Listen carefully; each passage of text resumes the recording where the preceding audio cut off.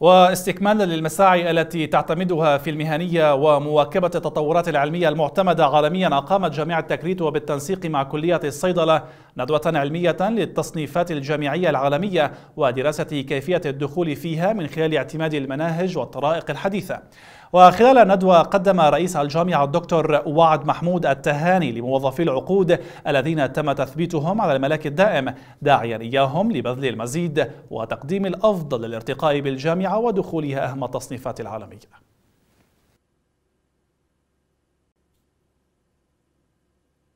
تقيم جامعة تكريت هذا اليوم آه، بالتنسيق مع كلية الصيدلة في الجامعة وقسم ضمان الجودة ندوة مهمة تتعلق بالتصنيفات الجامعية آه، العالمية. ما هي هذه التصنيفات؟ ما أهميتها؟ الخطوات الواجبة لدخول هذه التصنيفات وكذلك تقييم واقع الجامعات العراقية والخطوات المهمة الواجب اتخاذها لدخول جامعاتنا لهذه التصنيفات المهمة. آه، حقيقة آه، وضعنا في الخطة الاستراتيجية للجامعة هدف واضح هو أن ندخل للتصنيفات المهمة كتصنيف التايمز وتصنيف الشيماغو وكذلك تصنيف آه، شنغهاي. الهدف أن أن نذهب إلى العالمية وهذا هدف كل الجامعات العراقية. فالجامعات اليوم تتنافس على دخول هذه التصنيفات ومعالي الوزير حريص على دخول جامعاتنا لهذه التصنيفات المهمة. ودائما ما يذكر أن العراق كبير ويجب أن يكون دائما موجود في هذه التصنيفات.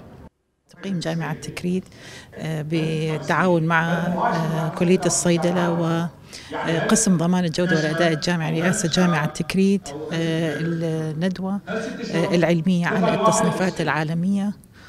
ما لها وما عليها.